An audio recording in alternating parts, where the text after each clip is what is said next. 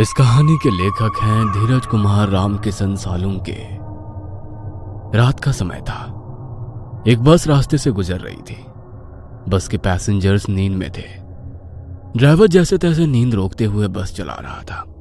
लेकिन बस की स्पीड फास्ट थी।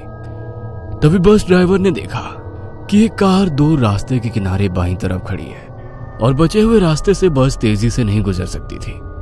ड्राइवर को गुस्सा आया। क्योंकि उसे बस की स्पीड कम करनी पड़ी और अगले स्टॉप पर पहुँचने के लिए बस को देरी होने लगी थी। बस उस कार के पास से गुजर रही थी। ड्राइवर को लग रहा था कि वो चिल्लाकर कार ड्राइवर को गाली दे, क्योंकि उसने कार किनारे से थोड़ी दूर रास्ते पर लगाई थी। लेकिन फिर भी ज़ोर से हॉर्न मारकर, मन ही मन गाली देते हुए ड्राइवर बस आगे ले आया। ड्राइवर तेज़ी से बस चलाने लगा। कुछ आधे घंटे बाद बस जंगल के रास्ते तक पहुँची।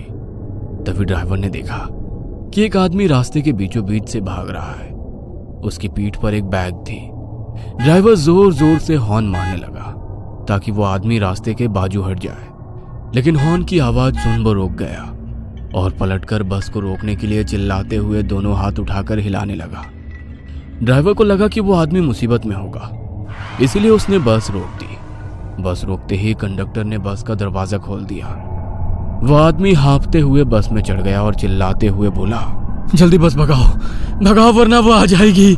बस रुकने के कारण और उस आदमी के चिल्लाने के कारण पैसेंजर्स नींद से जाग गए। ड्राइवर उस आदमी की तरफ़ मुड़कर देख रहा था।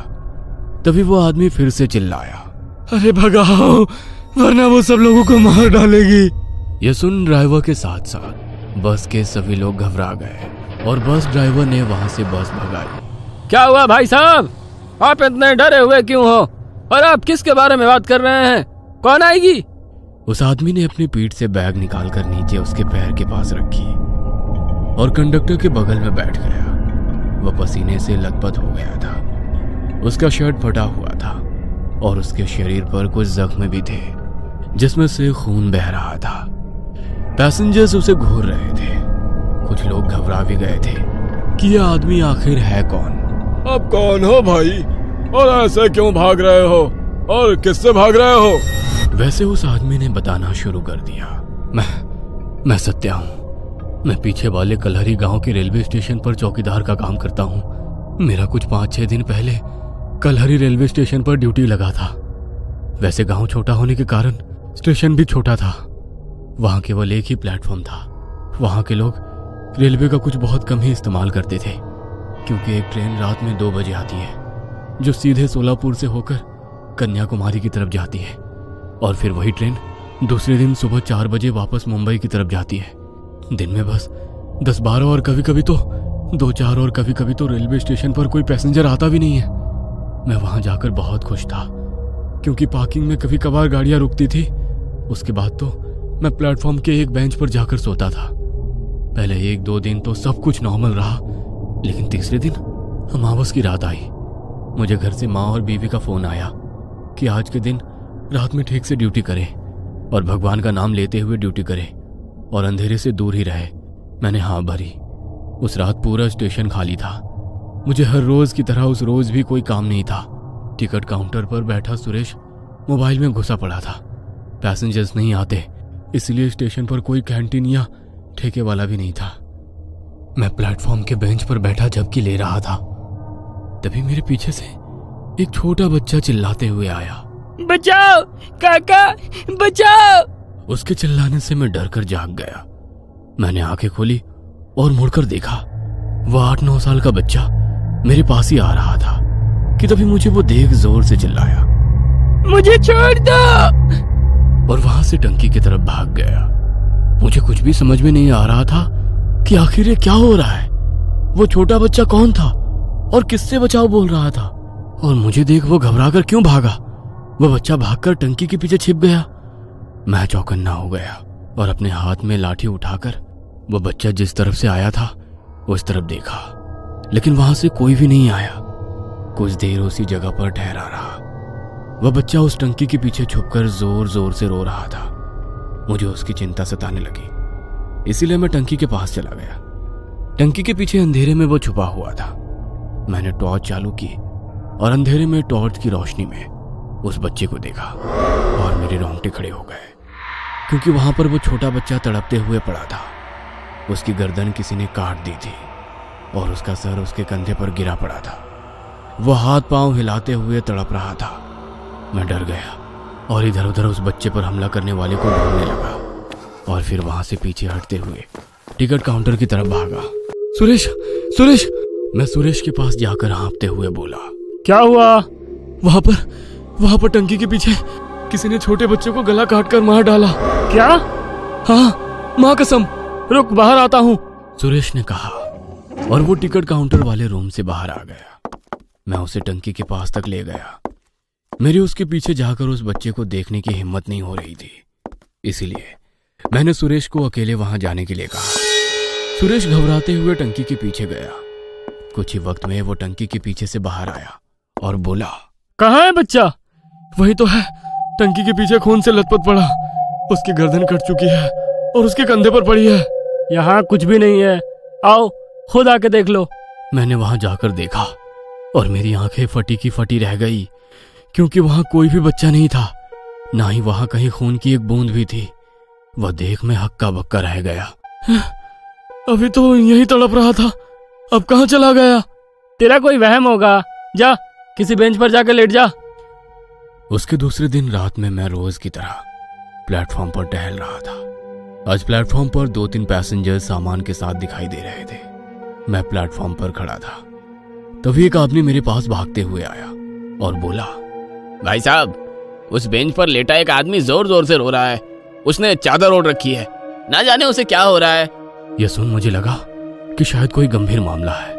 इसलिए मैं भागते हुए उस आदमी के साथ बेंच के पास पहुँचा जिस पर दूसरा आदमी चादर ओढ़े सोया था और वो रो रहा था। उसकी आवाज़ से वो कोई बूढ़ा आदमी लग रहा था। ओ चाचा क्या हुआ? क्यों रो रहे हो? मैंने पूछा। मेरी आवाज़ सुन वो ज़ोर से चीखा।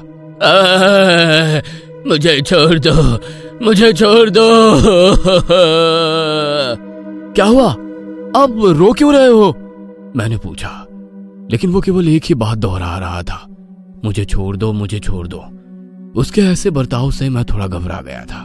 भाई साहब, आप चादर खींच के देखो, तभी पता चलेगा कि आखिर इसके साथ क्या हो रहा है। मेरे पास खड़े उस आदमी ने मुझसे कहा, और फिर मैंने बेंच पर लेटे शख्स की ओढ़ी हुई चादर खींची।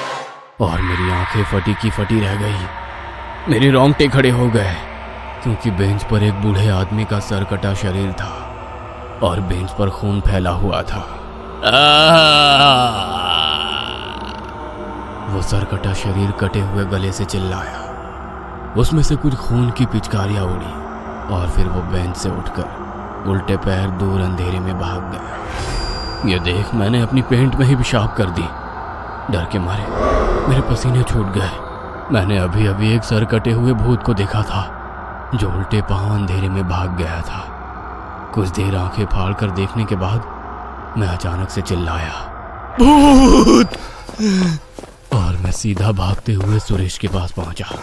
भूत भूत! मैं काउंटर पर खड़ा सुरेश से कहने लगा क्या हुआ? कहाँ है भूत? उसने मुझसे पूछा। मैंने उस बेंच की तरफ़ उंगली करते हुए कहा उस तरफ़ उस तरफ़ वो वो सर कटा था। वो उल्टे पैर अंधेरे में भाग गया। बेंच पर पूरा खून फैला हुआ है। क्या? रुक अभी बाहर आता हूँ और देखता हूँ। और वो टिकट काउंटर रूम से बाहर आया और मैं उसे बेंच के पास ले गया और एक बार फिर मैं चौंक गया क्योंकि अभी उस बेंच पर खून नहीं था। कहाँ है खून? यही था यही था। पता नहीं कहाँ चला गया अचानक। हाँ? क्या लगा रखा है? मुझे लगता है तुम्हें आराम की ज़रूरत है। मैं सच कह रहा हूँ, यार, मुझ पर यकीन नहीं है। तो एक आदमी था मेरे साथ। मैंने उसे कहा, और फिर पलटकर मैं प्लेटफॉर्म पर उस आदमी को ढूँढने लगा, जो मुझे उस बेंच के पास लेकर गया था। वो दूर प्लेटफॉर्म पर बैठे नीचे पैर छोड़कर आराम से बैठा था। मैं सुरेश को उसके पास ले गया। भाई साहब, आप इनको बताइए, आप जिस रोते हुए आदमी के पास मुझे ले गए थे, वो भूत था या नहीं? मैंने आपके कहने पर ही ओढ़ी हुई चादर खींची थी ना? और फिर वो सर कटा भूत अंधेरे में भाग गया था ना? मैंने उस आदमी से कहा तब वो आदमी मेरी तरफ़ ही देखने लगा। अरे बताओ ना इनको क्यों चुप हो? मैंने उस आदमी से पूछा तभी हमारे पास एक आदमी आया और बोला भाई साहब ये बोल और सुन नहीं सकते। ये सुन तो मेरे होश ही उड़ गए। क्या? ये आप क्या कह रहे हैं? ये भाई साहब अभी कुछ देर पहले मेरे पास आए थे और इन्होंने खुद अपने मुँह से मुझे उस रोते हुए शख्स के बारे में बताया था। मैं उस आदमी पर चिल्लाते हुए बोला अरे क्या पागल आदमी है? मैं इसका भाई हूँ। मैंने तो इसे कभी बोलते हुए नहीं सुना। और रही बात ये आप तक आने का तो ये एक घंटे से यहीं बैठा हुआ है मेरी आँखों के सामने। वो दूसरा आदमी मुझ पर चिल्लाते हुए बोला तभी सुरेश ने मेरे कंधे पर हाथ रखा और बोला यहाँ से चल। और फिर वो मुझे टिकट काउंटर रूम में ले गया। उसने मुझे कुर्सी पर बैठाया और पानी पिलाया। देख भाई, मुझे पता नहीं तुम्हारे साथ क्या हो रहा है, लेकिन लगता है तुम्हारी नींद पूरी नहीं हुई है। तुम अपने कमरे में जाकर सो जाओ। मैं खुद हैरान हो गया था कि वो आदमी एकदम से मुड़कर क्यों गया। वह खुद मेरे पास आया था और मुझे उस रोते हुए आदमी के पास ले गया था। उसने ही मुझे चादर खींचने के लिए कहा था और फिर मुझे सरकटा भूत दिखा था और फिर अचानक से वो बहरा और गूँगा कैसे हो गया? मुझे कुछ भी समझ में नहीं आ रहा था कि ये मेरे साथ क्या हो रहा है। मैं वहाँ से उठकर मेरे रूम में सोने चला गया। दूसरे दिन सुबह मैंने यह हादसा मेरी माँ को बताया। तब मेरी माँ ने कहा कि शायद वो रेलवे स्टेशन भूतिया हो और वहाँ कुछ आत्माएँ भटकती हो। वो मेरी चिंता करने लगी और जॉब छोड़ने के लिए कहने लगी। लेकिन बड़ी मुश्किल से मुझे वो जॉब मिली थी। मैं उसे छोड़ नहीं सकता था।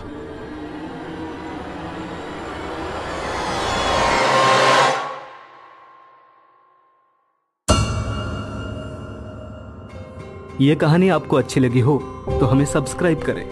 हमारा इंस्टाग्राम और फेसबुक पेज ज़रूर फॉलो करें। और हाँ दोस्तों, सब्सक्राइब करना भूलना मत।